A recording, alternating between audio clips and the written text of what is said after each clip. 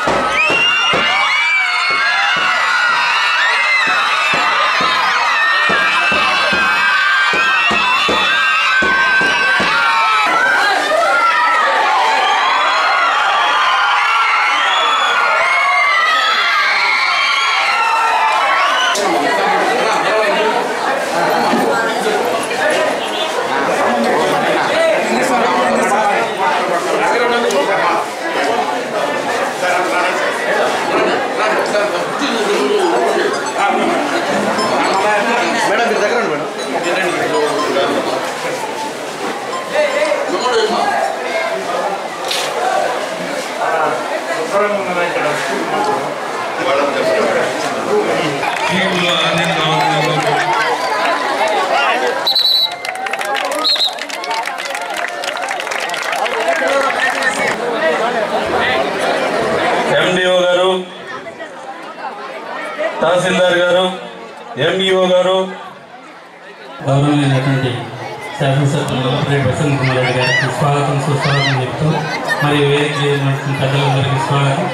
ఇక్కడ భోజనం చేయడానికి డైనింగ్ హాల్ కూడా అవసరం ఉంది నాలుగు వందల పిల్లలు మన పాఠశాలలో భోజనం చేస్తూ ఉన్నారు వీళ్ళందరికీ వీలైనంత తర్వాత డైనింగ్ హాల్ కూడా ఏర్పాటు చేయగలిగితే సంతోషిస్తాను సార్.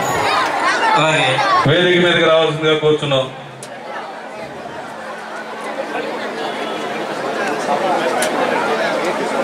Thank you. రోజు ఎక్కిస్తున్నారా ఎలా ఉంది ఎక్కువ గోళీలాగా ఉందా పెద్ద గుడ్డులాగా ఉందా? అన్ని అబద్ధాలే. లే ఎక్కడున్నాయి పెద్ద గుడ్డలు? ఎట్లా ఉంది? వాళ్ళని అడుగుతున్నారా? అడుగుతుంటే ఈ పరిస్థితి ఎందుకుంది నేను ఈ మధ్యనే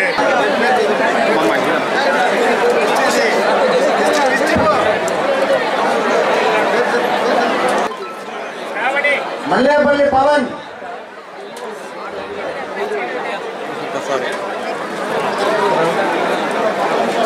నాటకరాణి వీరప్రసాద్.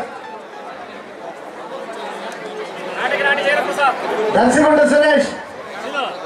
ఇలా ఉమా. అయిపోయింది వచ్చేసాయి. క్లిక్ అంతే. కుమారం మందుల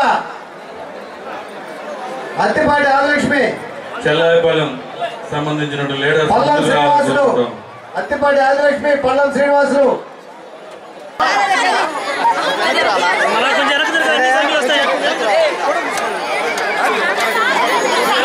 పాప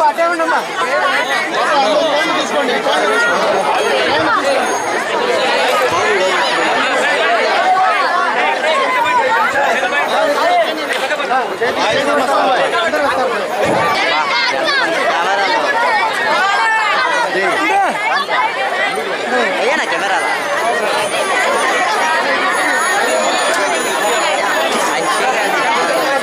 చదువుకొని పైకి రావాలనే ఉద్దేశంతోనే జగన్మోహన్ రెడ్డి గారు విద్యకు పెద్దపీట వేస్తున్నారు.